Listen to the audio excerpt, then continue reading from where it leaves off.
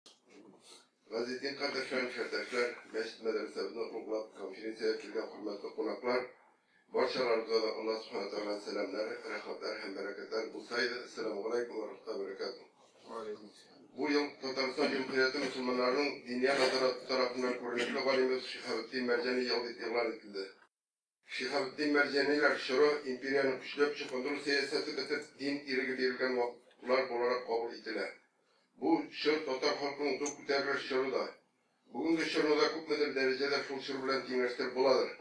Без дә дәһрилек, ягъни атеистик чорны кичердек. Дәһрилек чоры узып китте, инде дин иреге бирелгәнгә дә 30 ел. Бер уйлап караганда күп тә кебек, әмма тарих күзлегеннән чыгып караганда бик аз. Дәһлизлек чоры күпләребезнең күңелләреннән иман нурын бетерә алмады. Аз гына йомшаклык булу белән без Раббыбызның иң зур нигъмәте булган Коръәни Кәримне, динебезне өйрәнергә керештек. Бу чорда безнең фәкать дингә карата булган уңай карашыбыз гына формалашты. Совет чорында безне татар тарихына, ягъни үз тарихыбызга нәфрәт белән карарга өйрәттеләр. Без әле бу чорда шул карашлардан аерыла алмыйча үз халкыбызның тарихын түгел, Бәлки, башка халыкларның тарихын якынрак күрдек. Үз тарихыбызга түгел, бәлки, башкаларның тарихына мөкиббән киттек. Без әле үзебезне һаман да мескен итеп тоя идек. Безнең өчен Алтын Урда дәүләте бөтен халыкларны җәберләп торган кыргый татарлар дәүләте итеп карала күзаллана иде. Бәлки, бу чорда кирәк булгандыр, Аллаһ Тәгалә белүчерәк. Узган өч дистә елда без әле динсезлек исереклегеннән айный гына башладык дисәм, артык ялгышмыймдыр. Шулай да булганына шөкер итәргә кирәк. Бу чорда 1500 мәчет салынды, якшәм мәктәпләр, мәдрәсәләр оешты. Халкыбызның күпчелеге дингә йөзләре белән борылды.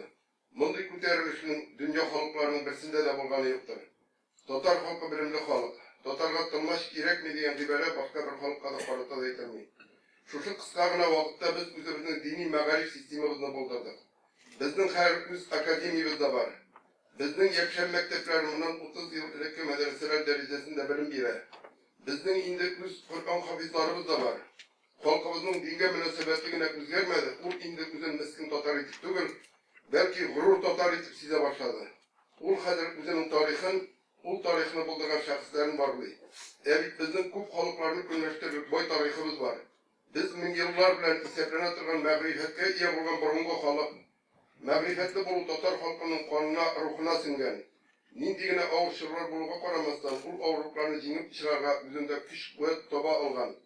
Россия империясенең көчләп чукындыру сәясәтенә һәм атеистик совет чоры сәясәтенә каршы торып, динен, телен һәм мәдәниятен саклап кала алу алуы гына түгел, бәлки тагын да югарырак дәрәҗәләргә күтәрүе моның дәлиле булып тора.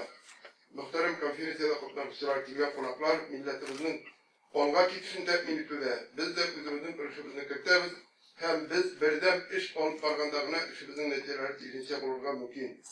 Бу безнең бишенче һәм халыкара буларак өченче конференция. Без, дин һәм фән галимнәре бишенче тапкыр бергә җыелып, илебезнең тотрыклыгын, алга китүен тәэмин итү өчен тырышлык куябыз.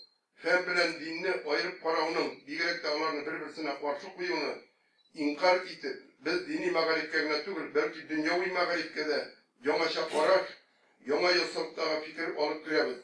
Бу эшчәнлекне ислам белгече буларак кына түгел, бәлки ныклы ышаныч белән чын мөселман булган хәлдә генә алып барып була. Аллаһ Тәгалә эшебезне уң кылсын, конференциябезнең милләтебез, җөмһүрятебез өчен хәерле бер чара булуын насыйп кылсын. Конференция эшенә уңышлар телим, хәерле сәгатьтә. Сәламегаләйкүм вә рахмәтуллаһи вә бәрәкәтүһ.